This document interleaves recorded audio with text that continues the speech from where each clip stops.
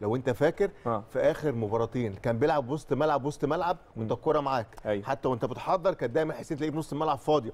هو موسيماني بيدور على دايما اللعيب الفاضي. دايما بيدور على المساحات اللي ممكن تضايق لعيب الوداد. دايما بيلعب على الحتة اللي فيها مساحات. هو عشان كده بيلعب بالطريقة دي. لكن دفاعيا هتلاقي حسين الشحات في نص الملعب وحسين بيلعبها كويس قوي ناحية اليمين مع هاني.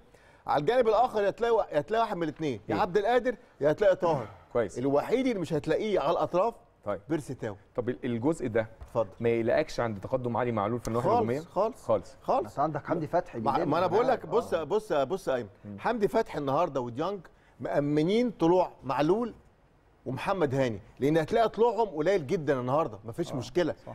إلى جانب أنت بتلاعب فريق لما بتيجي تلعب كل مرتد دفاعيا.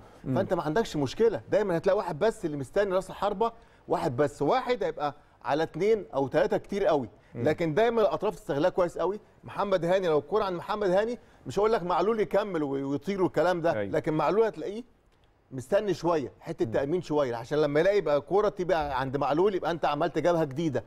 حتة استحواذك النهارده مهم في نص الملعب. حتة إن الكورة معاك دايما كتير في وسط الملعب هتفيدك كويس قوي.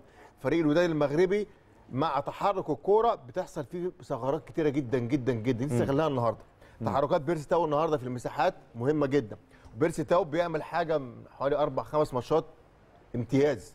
إن هو ما بيلعبش 9 9 اللي كان بيتكلم عليها بلال أو إذا كان بلال- وأسامة مش 9 9 بيلعب حر بيتحرك في كل مكان لكن دايما هو أقرب واحد للمرمى. دايما هتلاقي تحتيه طاهر أو عبد القادر. حسين زي ما بقول لك هتلاقيه لحد كبير في نص الملعب أو في الجنب اليمين. هو معتمد على دين مثل موسيماني عشان ما تقلقش من حتة نص الملعب أيوة اللي هي. مخوفاك مع حمدي فتحي وأليو ديونج. بس ممكن يقل النهارده الأداء الهجومي لمحمد هاني. مش مش مش هتطلب منه أداء هجومي عالي قوي ممكن تعتمد على معلول. ما انت بص يا أيمن لو انت كل هجمة بتعملها بحوالي ست أفراد أو سبعة كمان دي هايلة. ده, ده عدد ممتاز. لو معلول وثلاثه وبيرسي تاو وحمدي فتحي أو ديانج ورا الهجمه أعتقد ده عدد ممتاز جدا مفيش عدد مشكلة. كافي؟ طبعا مفيش فيه مشكلة. ولكن الرده تقلق.